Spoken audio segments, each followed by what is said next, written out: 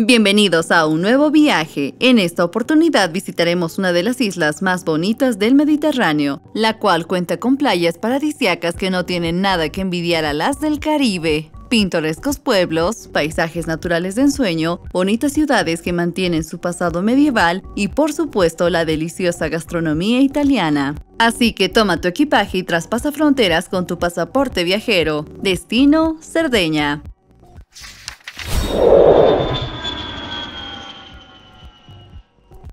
¿Eres fan de nuestros videos? Asegúrate de suscribirte a Pasaporte Viajero y activa la campanita de notificaciones. Veamos entonces cuáles son los 10 imprescindibles que ver en Cerdeña.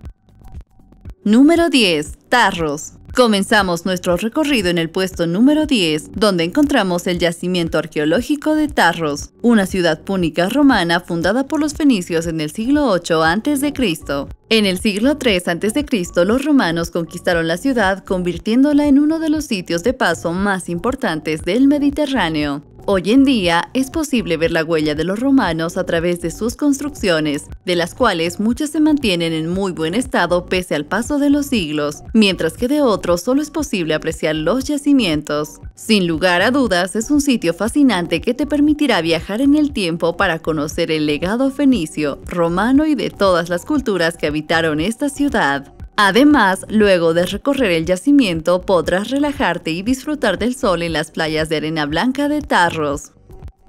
Número 9. Golfo de Orosei tras adentrarnos en la antigua ciudad de Tarros, llegamos al puesto número 9 donde encontramos el Golfo de Orosei, un pequeño oasis bañado por las aguas del mar Tirreño. En el Golfo de Orosei se encuentran algunas de las playas más bonitas de Europa, por lo que resulta el sitio ideal para los amantes del agua e incluso aquellos apasionados por los deportes acuáticos. Gracias a la claridad de sus aguas podrás practicar snorkel o bucear. Sin lugar a dudas, el azul turquesa de sus aguas, los acantilados verticales y las cuevas de piedra caliza convierten al Golfo de Orosei en todo un paraíso. No por nada llegan aquí miles de turistas a visitarlo. Para recorrer el Golfo y no perderte nada, te recomendamos reservar un crucero el cual te llevará a conocer las calas y playas más impresionantes del Golfo de Orosei. Si te interesa, en la descripción te estaré dejando el enlace así como otros tours que no te puedes perder.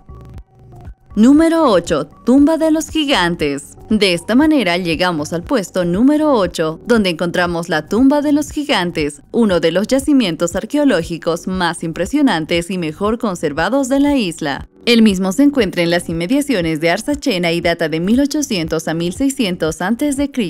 Estas construcciones megalíticas antiguas conforman un antiguo cementerio con tumbas colectivas, Vestigios de la época nurágica de Cerdeña. La principal característica de estos es el gran tamaño de su estructura a la cual se debe su nombre.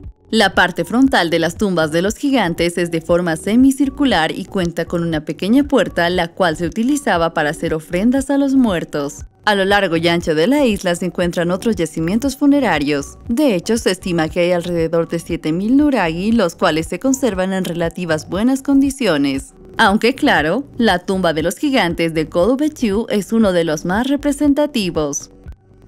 Número 7. Castel Sardo y así llegamos al puesto número 7 donde conoceremos Castel Sardo, uno de los pueblos medievales más bonitos de Italia y otro de los imprescindibles por visitar en Cerdeña. El mismo se sitúa sobre una enorme roca encima del mar y está dominado desde lo alto por un imponente castillo de más de mil años de antigüedad, desde el cual podrás apreciar magníficas vistas del mar y el entorno. Merece la pena recorrer las pequeñas calles del pueblo y caminar sin rumbo donde te toparás con encantadoras y coloridas casas, un paisaje que enamora. Te recomendamos llegar hasta la Piazza del Popolo para empaparte de la vida cotidiana y, por qué no, probar la deliciosa pasta italiana combinada con mejillones o frutos de mar en alguno de sus restaurantes. Mientras que si buscas refrescarte, puedes visitar Marina de Castelsardo, una pequeña playa de arena blanca y aguas cristalinas en donde se respira tranquilidad. Número 6. Grota di Nettuno Luego de recorrer uno de los pueblos más bonitos de Cerdeña, llegamos al puesto número 6, donde encontramos la Grota di Netuno, una increíble cueva natural situada en el Cabo Casia en las cercanías de Alguer. Se trata sin lugar a dudas de una de las excursiones estrella de la isla. Durante la visita guiada por esta impresionante cueva de más de un kilómetro de longitud, te maravillarás con sus estalactitas y estalagmitas de gran belleza y un lago interior de agua salada de más de 100 metros de largo. Ten en cuenta que únicamente es posible ingresar a ella mediante una visita guiada, las cuales se llevan a cabo cada hora de 9 a 19 horas. Cabe mencionar que el ingreso es limitado, por lo que para asegurar tu lugar te recomendamos reservarlo con antelación. Si te interesa en la descripción te estaré dejando el enlace.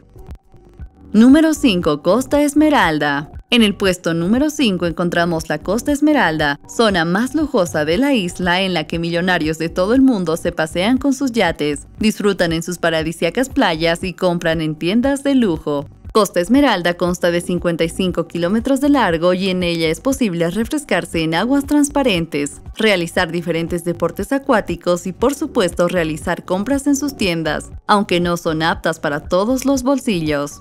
Porto Cervo es la capital de la Costa Esmeralda, punto de encuentro de ricos y famosos. De hecho, son muchas las celebridades que poseen propiedades aquí. Merece la pena recorrer el puerto deportivo, el mejor equipado de toda la isla, el cual alberga grandes y lujosos yates. Te recomendamos visitar la Chesa de Estela Maris, una pequeña iglesia ubicada sobre el puerto, desde donde se puede apreciar una hermosa vista de la ciudad. Número 4. Playa de la Pelosa es así como llegamos al puesto número 4 donde visitaremos la playa de la Pelosa, considerada la más famosa y paradisiaca de la isla. Esta bonita playa situada en Capo Falcone destaca por sus colores azules, cuya tonalidad va variando según la profundidad de sus aguas. En pocas palabras, un paraíso natural ideales para un merecido descanso. Frente a la playa de La Pelosa se encuentra una pequeña isla la cual cuenta con una torre aragonesa defensiva construida en 1578, todo un símbolo de esta bonita playa otorgándonos un majestuoso panorama. Además de la playa de La Pelosa, hay varios tramos de playas de arena blanca y aguas poco profundas en Capo Falcone. Otra de las más recomendadas es Cala di Vaca, a la cual te recomendamos ir también para disfrutar del mar y relajarte en su fina arena.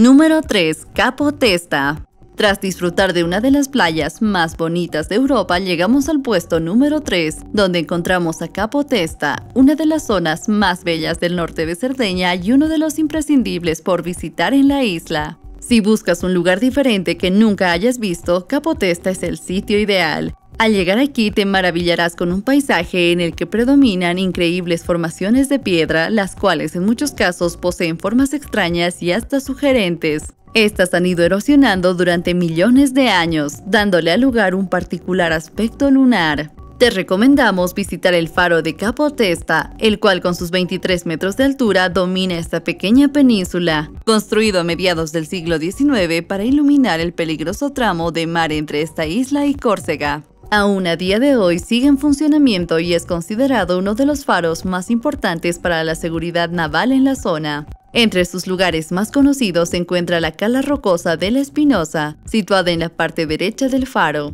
Desde este preciso punto podrás disfrutar de magníficas vistas del estrecho de Bonifacio y la isla de Córcega. Número 2. La Magdalena nos adentramos en el top y llegamos al puesto número 2, donde visitaremos La Madalena, un archipiélago formado por más de 60 paradisíacas islas que emergen a pocos kilómetros de la costa de Cerdeña. Sus playas de aguas cristalinas resultan el sitio ideal para practicar snorkel, mientras que su arena fina es ideal para descansar y relajarse gracias a la tranquilidad que aquí se respira. Puedes llegar a la isla principal en ferry, el cual parte desde Palau y tiene un trayecto de 20 minutos. Una vez en la isla principal, te encontrarás con una hermosa y colorida localidad con restaurantes, heladerías, tiendas y mucho más. Si estás interesado en conocer este bello archipiélago, en la descripción te dejaré un enlace para que contrates una excursión que te llevará a recorrer las calas más imponentes que conforman este archipiélago.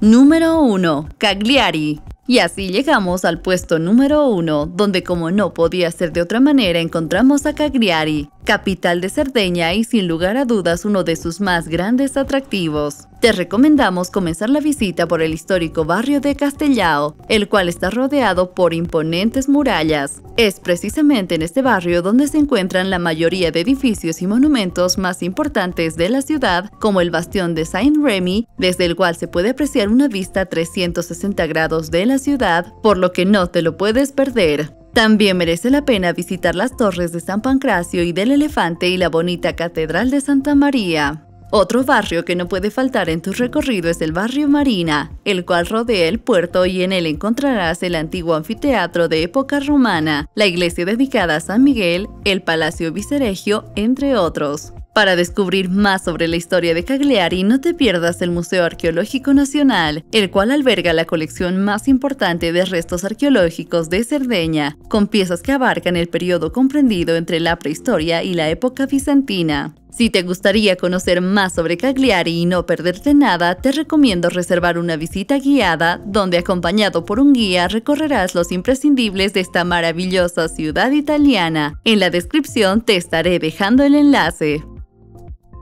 De esta manera llegamos al final de nuestro recorrido por Cerdeña. Coméntanos qué te ha parecido el video y si conoces otros lugares que no hemos nombrado puedes dejárnoslos en los comentarios. Te dejamos otros videos para que continúes viajando desde casa con tu pasaporte viajero. Si te gustó el video no te olvides de dejarnos un me gusta, suscribirte y activar la campanita de notificaciones para enterarte cada vez que subimos nuevo contenido. Nos vemos en el próximo video.